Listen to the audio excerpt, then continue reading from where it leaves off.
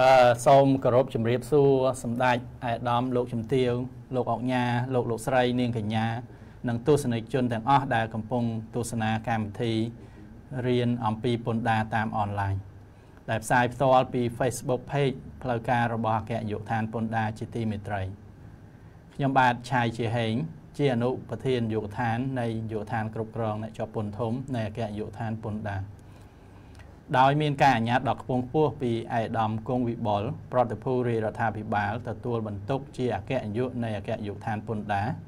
ខ្ញុំសូមលើកយកប្រធានបទស្ដីពីពន្ធប្រថាប់ត្រាលើការផ្ទេរភាគហ៊ុនកិច្ចសន្យាប្រើប្រាស់ថវិការដ្ឋនិងលិខិតមានលក្ខណៈកតិយុត្ត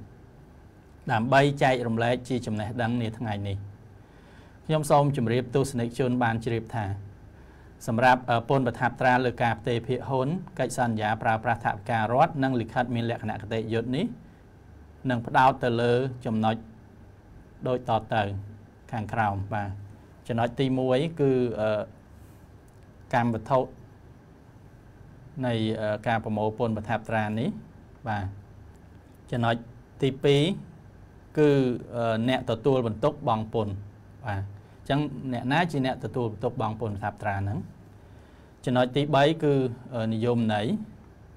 ចំណុចទី4គឺការលើកលែងពន្ធហើយចំណុចទី5គឺមូលដ្ឋានកិត្តពន្ធអត្រាពន្ធហើយការកណនាប្រាក់ពន្ធចំណុចទី6គឺការប្រកាសពន្ធនិងការបង់ប្រាក់ពន្ធហើយការផាកពិន័យហើយនឹងចំណុចចុងក្រោយគឺមានឧទាហរណ៍ ជាលេខជាក់ស្ដែងរបៀបគិតពន្ធបាទអញ្ចឹងខ្ញុំសូមអនុញ្ញាតចូលចំណុចទី1គឺកម្មវត្ថុនៃពន្ធអញ្ចឹងពន្ធប្រថាប់ត្រាហ្នឹងត្រូវប្រមូលចំពោះបាទទី1គឺការផ្ទេរចំណែកណាមួយឬទាំងស្រុងនៃភាគហ៊ុនរបស់ក្រុមហ៊ុន បាទអញ្ចឹងទោះផ្ទេរមួយចំណែកផ្ទេរទាំងអស់ក៏ដោយក៏ត្រូវជាប់ពន្ធនេះដែរ ចំណុចទី2គឺកិច្ចសន្យាផ្គត់ផ្គង់តំណែងឬសេវាដែលប្រើប្រាស់ថវិការដ្ឋអញ្ចឹងពាក្យថាថវិការដ្ឋហ្នឹងគឺអាចជាថវិកាថ្នាក់ជាតិឬក៏ក្រោមជាតិឲ្យតែប្រើប្រាស់ថវិការដ្ឋចំណុចទី3គឺលិខិតមានលក្ខណៈកតិយុត្តគឺយើងសំដៅទៅលើលិខិតស្ដីពីការរំលាយក្រុមហ៊ុនបញ្ចូលគ្នាហើយនឹងបិទក្រុមហ៊ុនបាទអញ្ចឹងមាន3ចំណុចនេះ ចឹងសំណួរសួរថាតើអ្នកណាទទួលបន្ទុកបង់ពន្ធហ្នឹងបាទចឹងផ្អែកទៅតាមបទបញ្ញត្តិស្ដីពីពន្ធដែរបាទអ្នកដែលទទួលបន្ទុកហ្នឹងបង់ពន្ធគឺអ្នកទទួលសិទ្ធិបាទចឹងគឺបើនិយាយរឿងភាគហ៊ុនគឺអ្នកទទួលសិទ្ធិកាន់កាប់ភាគហ៊ុននិយាយចំគឺអ្នកតែងនឹងជាអ្នកបង់បាទ ដល់ពេលតាក់តងនឹងកិច្ចសន្យាដេញថ្លៃជាមួយរដ្ឋគឺយើង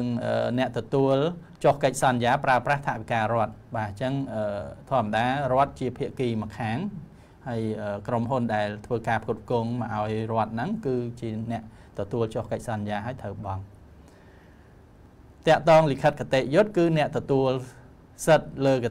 លិខិតដែលមានលក្ខណៈកតិយុត្តបាទអញ្ចឹងអ្នកទទួលសិទ្ធិចុងក្រោយដែរបាទអញ្ចឹងខ្ញុំសូមអនុញ្ញាតចូលចំណុចទី3យើងមានធម្មតាដើម្បីគិតពន្ធគឺយើងមានមូលដ្ឋានអញ្ចឹងក្នុងនេះគឺយើងមានកំណត់ថាតម្លៃភាគហ៊ុនអញ្ចឹងតម្លៃភាគហ៊ុនហ្នឹងគឺយើងយកប៉ុណ្ណាមកគិតពន្ធបាទគឺតម្លៃនៃការផ្ទេរភាគហ៊ុនគឺផ្អែកទៅលើតម្លៃទីផ្សារបាទអញ្ចឹងតម្លៃទីផ្សារគឺ តម្លៃមួយដែលយើងនឹងទៅចែកនឹងមានឧទាហរណ៍ជាលេខនៅពេលកណនីខាងក្រោយបាទភាគហ៊ុនស្អីទៅភាគហ៊ុនបាទចឹងសំដៅទៅលើចំណែកមួយឬទាំងស្រុងនៃភាគហ៊ុនបាទឬប្រយោជន៍ឬការលក់អាជីវកម្មរបស់ក្រុមហ៊ុននីតិបុគ្គលសហកម្មសិទ្ធិសហគ្រាសឯកបុគ្គលដែលបានចុះបញ្ជីឬបានចុះបញ្ជីនៅក្រសួងស្ថាប័នមានសមត្ថកិច្ចបាទអឺ តំណែងឬសេវាយើងសំដៅទៅលើតំណែងសំណង់ឬសេវាតម្លៃចុះកិច្ចសន្យាសំដៅលើតម្លៃកិច្ចសន្យាផ្គត់ផ្គង់ទំនិញឬសេវាដែលប្រើប្រាស់ថវិការដ្ឋបាទស្អីទៅថវិការដ្ឋបាទអញ្ចឹងថវិការដ្ឋគឺយើងសំដៅថវិកាថ្នាក់ជាតិថ្នាក់ក្រោមជាតិ ដែលមានចែងក្នុងមាតិកាថវិកាប្រចាំឆ្នាំនីមួយៗបាទលិខិតមានលក្ខណៈកតិយុត្តបាទអញ្ចឹងយើងសំដៅតែលិខិតពីរគឺលិខិតស្ដីពីការរំលាយក្រុមហ៊ុនបញ្ចូលគ្នា ហើយនឹងលិខិត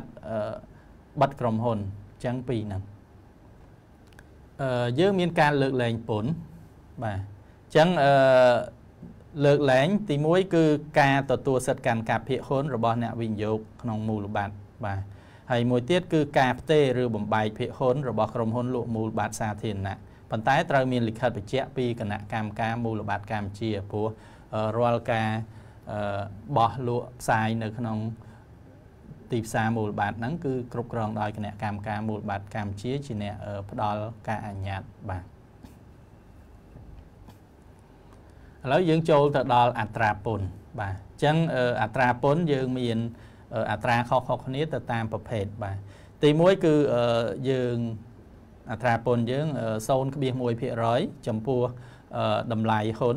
ចំពោះការផ្ទេរឬក៏រំលាយបញ្ចូលគ្នាបាទហើយអត្រាមួយទៀតគឺ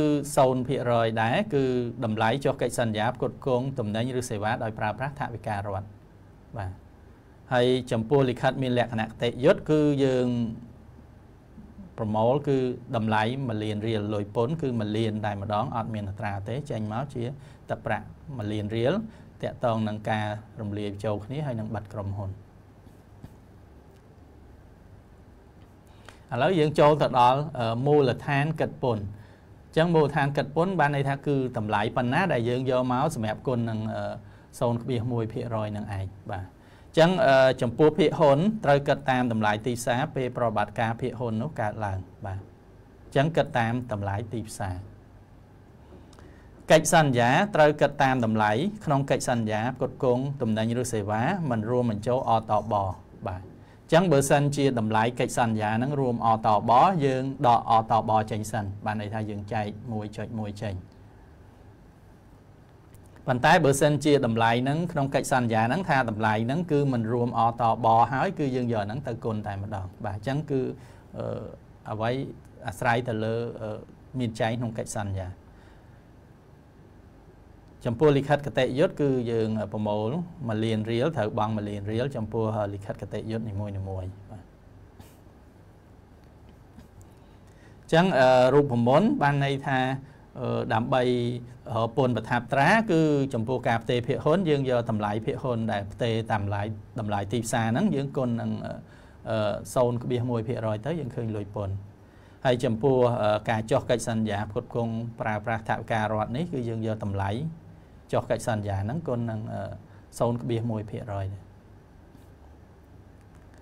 លិខិតមានលក្ខណៈកតិយុត្តគឺយើងអត់មានគុណអីទេ គឺតម្លៃ ពន្ធហ្នឹងគឺត្រូវបង់1លានរៀលតែម្ដងតកតងនឹងការប្រកាសនឹងបង់ពន្ធបាទអឺអ្នកជាប់ពន្ធត្រូវមានកាតព្វកិច្ចដាក់លិខិតប្រកាសនិងបង់ប្រាក់ពន្ធហ្នឹងឲ្យបានគ្រប់ចំនួនហ្នឹងក្នុងរយៈពេល3ខែយ៉ាងយូរអញ្ចឹងអឺពន្ធនេះគឺជាប្រភេទពន្ធមួយគេហៅពន្ធផាកការពិន័យយើងអត់មានគិតការប្រាក់ឬក៏ ពន្ធបន្ថែមអីទេ គឺយើងទុកពេលឲ្យ3ខែតាហួ3ខែគឺពិន័យស្មើនឹងប្រាក់ពន្ធតែម្ដងអញ្ចឹងសូមយកចិត្តទុកដាក់ចំណុចនេះដែរអញ្ចឹង3ខែហ្នឹងយើងរាប់ពីពេលណា ចំពោះភាគហ៊ុន គឺបន្ទាប់ពីប្រតិបត្តិការផ្ទេរភាគហ៊ុនបានកើតឡើងអញ្ចឹងគឺប្រតិបត្តិការផ្ទេរភាគហ៊ុននឹងបានកើតឡើង គឺរាប់ចាប់ពីពេលហ្នឹងមកទុកពេលឲ្យ3ខែដើម្បីមកប្រកាសបង់ពន្ធចំពោះកិច្ចសន្យាផ្គត់ផ្គង់គឺ បន្ទាប់ពីការបច្ឆេទកិច្ចសន្យាអញ្ចឹងពេលយើងទទួលការផ្គត់ផ្គង់ហ្នឹងគឺយើងមានសញ្ញេកុងត្រាអញ្ចឹងក្នុងលើលើកិច្ចសន្យាហ្នឹងគេមាន date ថាថ្ងៃណាអញ្ចឹងគេរាប់ date នៃសញ្ញេកុងត្រាហ្នឹងចាប់ពីហ្នឹងមក3ខែចំពោះលិខិតមានលក្ខណៈកតិយុត្តគឺបន្ទាប់ពីការសម្រេចរបស់ក្រសួងស្ថាប័នមានសមត្ថកិច្ចបាទអញ្ចឹងធម្មតា ជាទូទៅ គឺអាចថាចេញពីក្រសួងពាណិជ្ជកម្មបច្ចៈអីហ្នឹងបាទបាទដូចខ្ញុំបញ្ជាក់អញ្ចឹងថាចំពោះការផាកពិន័យអឺប្រភេទពន្ធនេះគឺអឺផាកអ្នកណាអញ្ចឹងគឺអ្នកទទួលសិទ្ធិលើភាគហ៊ុនបាទអ្នកតែងហ្នឹងនិយាយខ្លីអ្នកតែងភាគហ៊ុនហ្នឹងអ្នកទទួលចុះកិច្ចសន្យា អ្នកទទួល សិទ្ធិលើលិខិតមានលក្ខណៈអតិយុត្តហ្នឹងដែលខកខានមិនបានបង់ពន្ធក្នុងរយៈពេល3ខែហ្នឹងណាប្រថាប់ត្រាហ្នឹងតាន់ពេលកំណត់ហ្នឹងត្រូវពិន័យស្មើនឹងប្រាក់ពន្ធប្រថាប់ត្រាទៅបង់បាទអញ្ចឹងអឺដូចខ្ញុំបញ្ជាក់អញ្ចឹងថាពន្ធនេះតាហួស3ខែគឺពិន័យស្មើនឹងប្រាក់ពន្ធតែម្ដងអត់មានកិច្ចការប្រាក់យឺតយ៉ាវអីទេ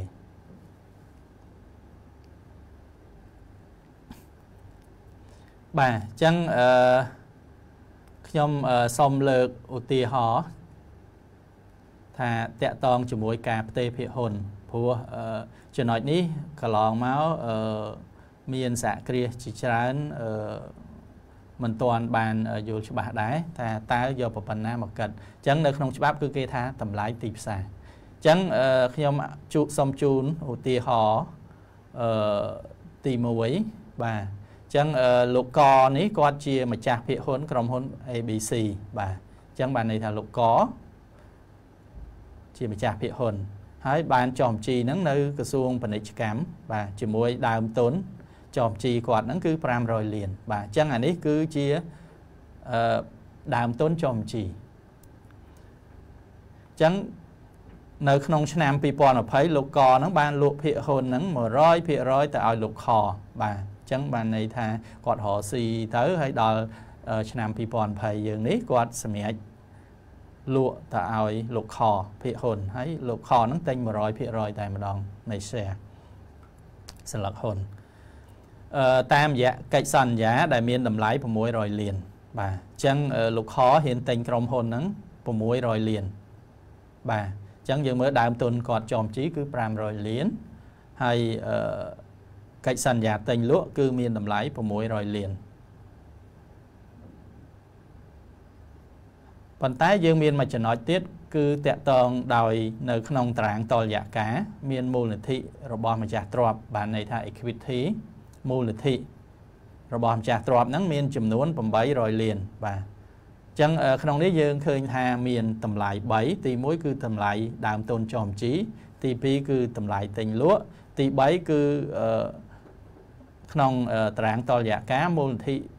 ទ្រព្យរបស់ម្ចាស់អញ្ចឹងយើងដឹងហើយ equity ហ្នឹងគឺវាស្មើនឹង net asset ហ្នឹងទ្រព្យសកម្មសុទ្ធរបស់សហគ្រាសអញ្ចឹងបើក្រុមហ៊ុនមួយមាន net asset ទ្រព្យ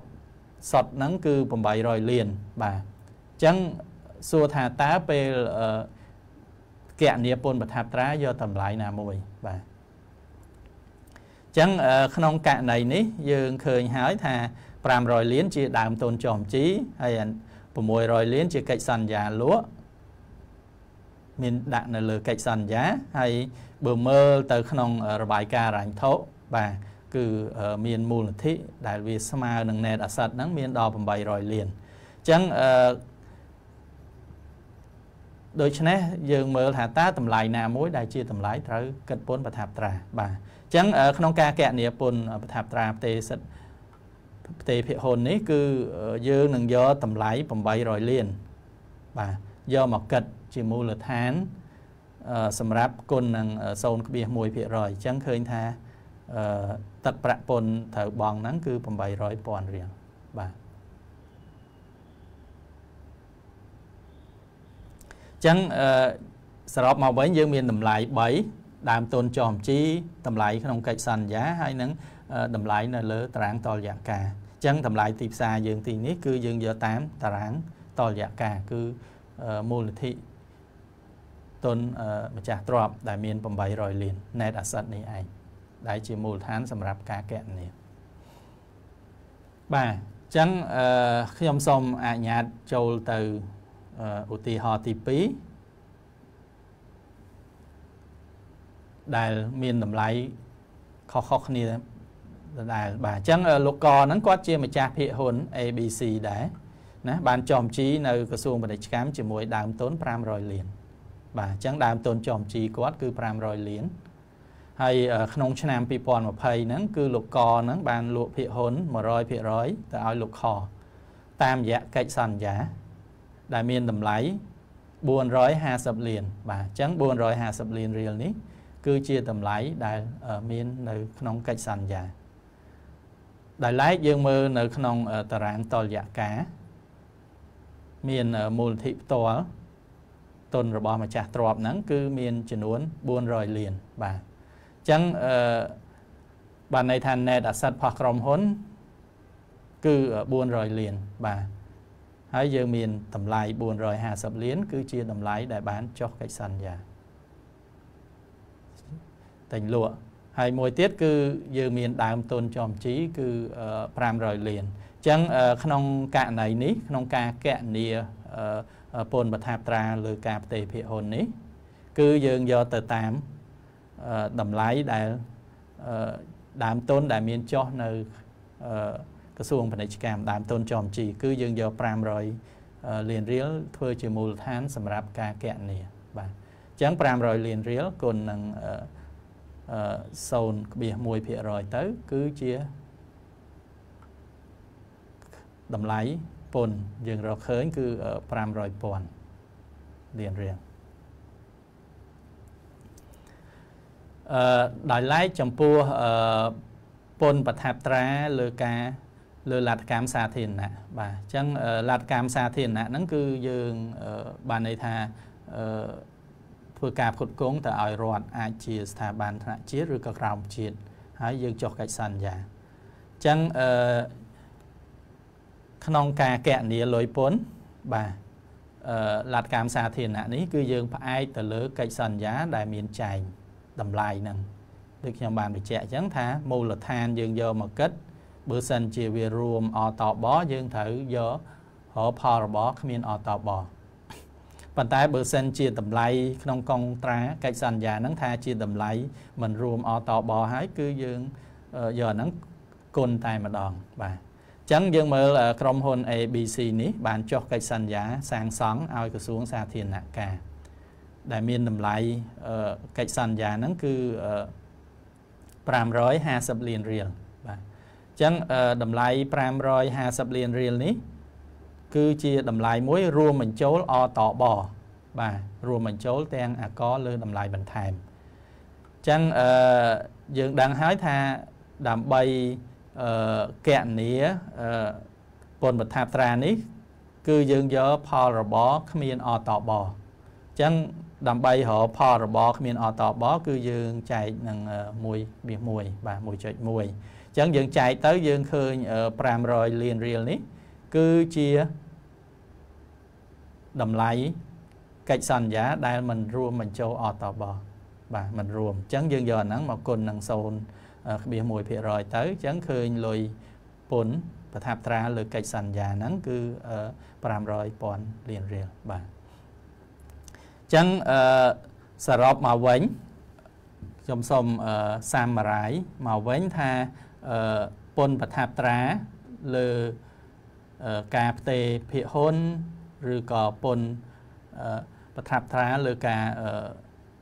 កត់គងដោយប្រើប្រាស់ថវិការដ្ឋនេះគឺអ្នកទទួលបានន័យថាអ្នកតែងគឺជាអ្នកទទួលបន្ទុកបង់ពន្ធហ្នឹងហើយចំពោះកិច្ចសន្យាផ្គត់ផ្គង់ដោយប្រើប្រាស់ថវិការដ្ឋគឺអឺអ្នកទទួលការផ្គត់ផ្គង់ជាអ្នកបង់បាទហើយមួយទៀតនៅក្នុងច្បាប់ពន្ធប្រថាប់ត្រានេះគឺមានការតម្រូវ ថាពេលណាយើងត្រូវបង់ពន្ធអញ្ចឹងគឺគេតម្រូវឲ្យបង់ពន្ធប្រថាប់ត្រានេះគឺកុំឲ្យហួស3ខែអញ្ចឹងកាលណាហួស3ខែគឺគេពិន័យស្មើនឹងប្រាក់ពន្ធត្រូវទទួលរងពិន័យស្មើនឹងប្រាក់ពន្ធហើយតកតងនឹងថាមើលមិនបានដឹងថាហួស3ខែឬមិនហួស3ខែបាទអញ្ចឹងចំពោះអឺអឺការ ផ្ទេរភាគហ៊ុនគឺគេរាប់នៅពេលណា គឺរាប់នៅពេលដែលប្រតិបត្តិការផ្ទេរនឹងបានកើតឡើង បាទអញ្ចឹងក្នុងច្បាប់គេចែងថាបានកើតឡើងអញ្ចឹងបើសិនជាបានកើតឡើងហើយជាងគេចាប់រាប់ពីពេលហ្នឹងមករយៈពេល3ខែហើយបើហួសគឺគេពិន័យស្មើនឹងប្រាក់ពន្ធបាទហើយដោយឡែកចំពោះលទ្ធកម្មបានន័យថាប្រើប្រាស់ថវិការដ្ឋដូចគ្នាដែរគឺយើងចាប់ផ្ដើមរាប់ហ្នឹងគឺ ពីកាលបច្ឆេទដែលមានចែងនៅលើកិច្ចសន្យាហ្នឹងអញ្ចឹងពេលធ្វើកិច្ចសន្យាមួយគ្នាទៅមានថ្ងៃខែនៅលើហ្នឹងអញ្ចឹងរាប់ពីហ្នឹងមក3ខែបើសិនហួសគឺត្រូវរងការពិន័យអឺស្មើនឹងប្រាក់ពន្ធដែរបាទហើយចំពោះអឺតម្លៃទីផ្សារលើការផ្ទេរភាគហ៊ុនដោយខ្ញុំបានបញ្ជាក់អញ្ចឹងគឺខាងរដ្ឋបាលសារពើពន្ធនឹងពិនិត្យមើលលើ3ចំណុចហ្នឹងបាទទី1 គឺចំណុចទី1ហ្នឹងគឺដើមទុនចំជីបាទអញ្ចឹងដើមទុនចំជីប្រមាណទី2គឺតម្លៃដែលមានចែងក្នុងកិច្ចសន្យាតែងលក់បាទហើយទី3គឺ equity មូលនិធិឬដែលយើងហៅថាទ្រព្យសកម្មសុទ្ធរបស់សហគ្រាសហ្នឹងអញ្ចឹងជាទូទៅយើង compare លើប្រៀបធៀប3ចំណុចហ្នឹងហើយមួយណាច្រើនជាងគេ គឺយកធ្វើជាមូលដ្ឋានសម្រាប់កិត្តពន្ធប្រថាប់ត្រាបាទអញ្ចឹង អឺចំណុចសំខាន់សំខាន់ដែលខ្ញុំបានលើកឡើងលើការតាក់ទងប្រធានបទលើការផ្ទេរភាគហ៊ុនប្រថាប់ត្រានេះចំណុចពិសេសគឺនៅត្រង់ចំណុចហ្នឹងបាទធ្វើម៉េចយើងបងពន្ធកុំឲ្យហួសរយៈពេល3ខែបាទ